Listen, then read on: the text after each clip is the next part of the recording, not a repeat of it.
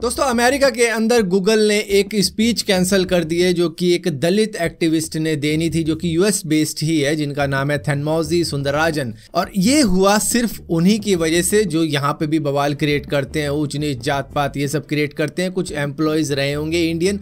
उन्होंने ही कंप्लेंट करी थी कि इस दलित एक्टिविस्ट की स्पीच नहीं होनी चाहिए हमारे सामने।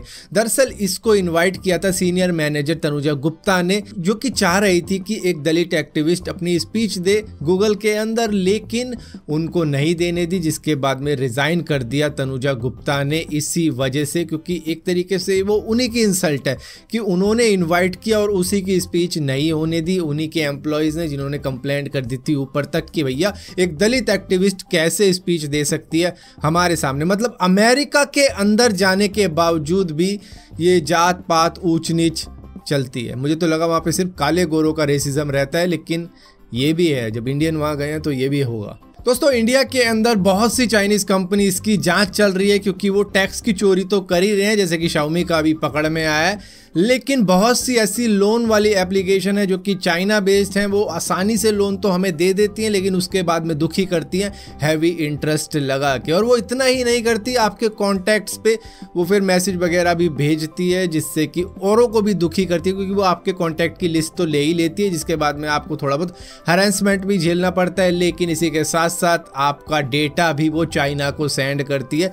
पता लग रहा है अभी अभी कि चाइनीज़ कम्युनिस्ट पार्टी के लिए वो ये सारे काम करते हैं और उसी के लिए ये सारा का सारा डेटा इकट्ठा किया जा रहा है। पता नहीं क्या करेंगे इसका, लेकिन हाँ वो चाइना को भेजते हैं और उसके बाद में डेटा वहाँ पे स्टोर होता है हम सभी इंडियंस का। अभी रिसेंटली मार्च के महीने में एक शॉपी नाम की चाइनीज़ एप्लीकेशन थी, वो अचानक से ही काम करना बंद कर गई। इसी के साथ साथ 40 नॉन बैंकिंग फाइनेंशियल कंपनीज़ जो कि चाइना से बिलोंग करती थी, उनके भी लाइसेंस रद्द किए गए हैं, क्योंकि वो भी कुछ इसी टाइप की एक्टिविटीज़ कर रहे हैं कि वो डेटा इधर उधर सेंड कर रहे थे। तो थोड़ा बच के रहना इन लोन वाली एप्लीकेशन से। हालाँकि फ्रॉड बहुतों के साथ में हो रहा है। इनसे भी और ऊपर से हैरेसमेंट भी हो रही है क्योंकि आपके रिश्तेदारों को कॉल करेंगे कि इसने इतने का लोन ले रखा है, दे नहीं रहा। तो इस तरीके की चीज़ों से बचना है। तो ऑनलाइन किसी भी एप्लीकेशन से ऐसे ही लोन मत लो। दोस्तों अमेरिका का न्यूयॉर्क का पहला स्टेट बन चुका है, जहाँ पर राइट टू रिपेयर बिल को अप्रूव कर दिया गया है। अब इलेक्ट्रॉनिक आइटम क्या है? वहाँ पर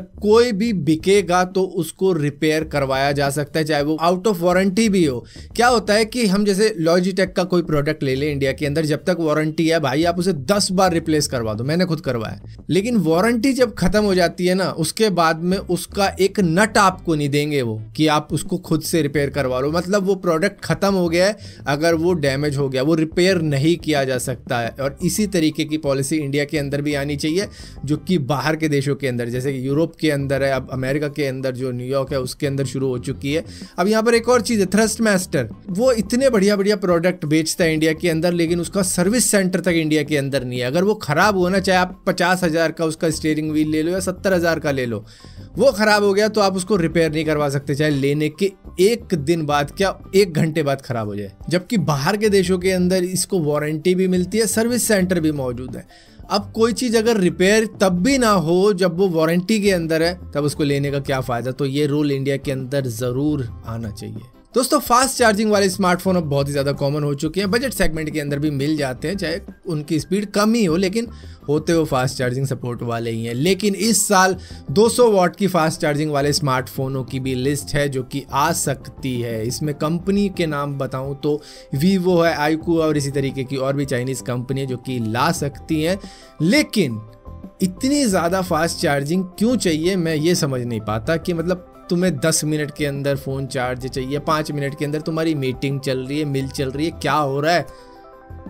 पहले कुछ टाइम तो मिल जाता था, मोबाइल भी रेस्ट कर लेता था, अब तो मोबाइल को भी रेस्ट नहीं कि, फटाफट चार्ज हो रहा दोबारा से खेलूँगा तेरे अंदर गेम। एक टाइम वो आएगा कि सीधा ट्रांसफॉर्मर से चार्ज करो फ़ोन, लगाया चार्ज, चलो। दोस्तों, ऑस्ट्रेलिया के अंदर गूगल के ऊपर एक केस चल रहा था। वो केस वो हार चुका है और उसके ऊपर अब पाँच लाख पंद्रह हज़ार यूएस डॉलर का लॉ सूट लगा है, जो कि होते हैं करीबन चार करोड़ रुपए।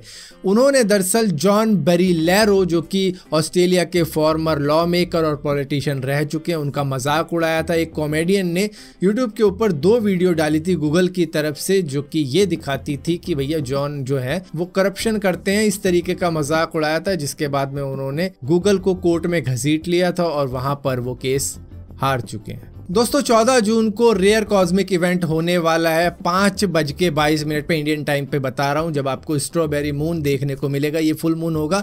और यहाँ पर दोस्तों जाते जाते ये ऑप्टिकल इल्यूजन काफ़ी ज़्यादा चल रहा है, जहाँ पर आपको द हिडन टाइगर ढूंढना है। इस इमेज के अंदर सिर्फ़ एक परसेंट लोग ही इसको अब तक ढूंढ पाए तो देखते हैं आप में से कौन इसको ढूंढ पाता है। फ़िलहाल के लिए दोस्तों, इस वीडियो के अंदर इतनी अपडेट्स थी। अगर वीडियो आपको पसंद आती हो तो इस वीडियो को लाइक ज़रूर करना शेयर ज़रूर करना। और इसी तरीके की और भी वीडियो देखने के लिए इस चैनल को सब्सक्राइब ज़रूर करना और सब्सक्राइब किया तो बेल का आइकॉन ज़रूर दबाना, वरना आपको मालूम नहीं चलेगा मैंने को वीडियो डाली भी है।